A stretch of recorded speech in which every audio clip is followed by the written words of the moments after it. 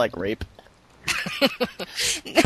No, I mean because you usually see other UFOs and they're like, "Hi," but then Yeah. this one's like, "Hi."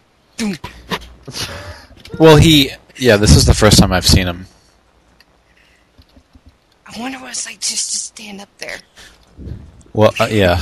I've never fought him before. You better stand clear, though. I don't want to get in these guys' way. I'm not going to either. But it's like, "Hi."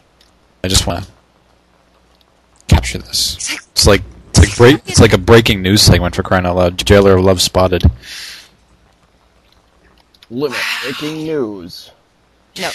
No, you know, every time I see a UFO, I think of um, Independence Day. Just the giant, Yeah. you know, ships over the city. That's what these remind me of. Okay, Mushra, get your naked body out of my way. I kind of like balls. Let me let me do it this way. Okay, now person and take a picture of the big dude. The one that went douche right on people's heads. douche. on Their head. Oh, where's my print screen button? There it is.